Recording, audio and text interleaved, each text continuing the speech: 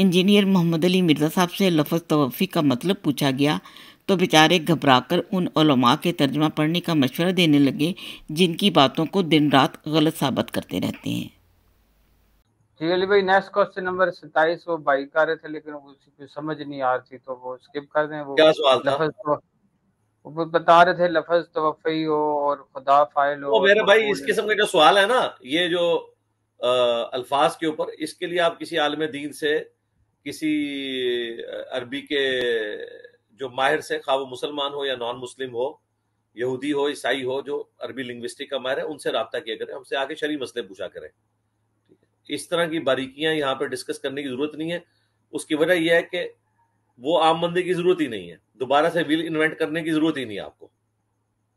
جو تراجم لکھے ہوئے ہیں، اہل سنت کے علماء نے اہل تشیع کے علماء نے اور سب سے بڑھ کر مفتی اعظم پلانٹ ارتھ حضرت گوگل حافظہ اللہ تعالی، وہ آپ کو عربی لنگوسٹک کا جو معنی بتا رہے ہیں، آپ اس کو فالو کریں۔ یہ بات تو صاف ظاہر ہوگی کہ انجینئر صاحب لفظ توفی کا ترجمہ بہت اچھی طرح جانتے ہیں، مگر بتانا نہیں چاہا۔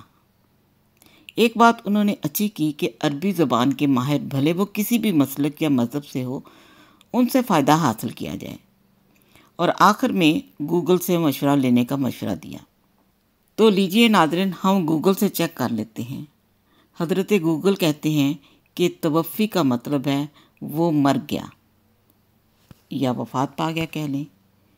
تو یہ بات سبھی جانتے ہیں کہ مرنا قبض جسم نہیں قبض روح ہوتا ہے۔ سچائی مان لیں گے تو اثر و رسوخ جاتا رہے گا۔